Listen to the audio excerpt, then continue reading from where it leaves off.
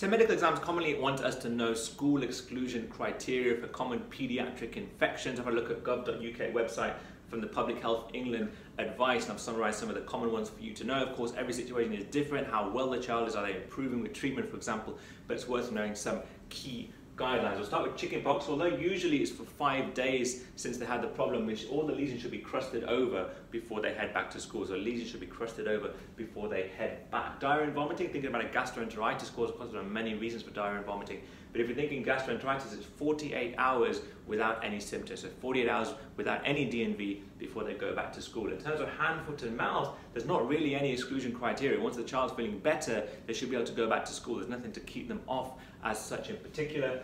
Measles, four days after the rash onset when it comes to measles. So it's that fourth day, once they've had that rash, they should be able to go back as long as they're well.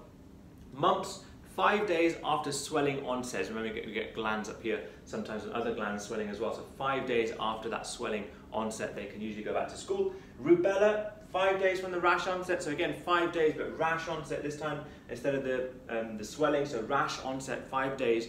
Rubella, when you talk about scarlet fever, it's 24 hours after they commence antibiotics. Antibiotics are usually penicillin V based, but it's 24 hours after you commence antibiotics. And pertussis or whooping cough, 48 hours after they've started antibiotics when it comes to pertussis. There's a few others. Have a look at the gov.uk website for more information. Remember, every situation, every scenario is going to be patient-based, but it's worth knowing some of those key guidelines. Much more like on our webinars, courses, and our audiobooks. Hope this helps. Hashtag can pass, will pass. Hashtag I went with Arora.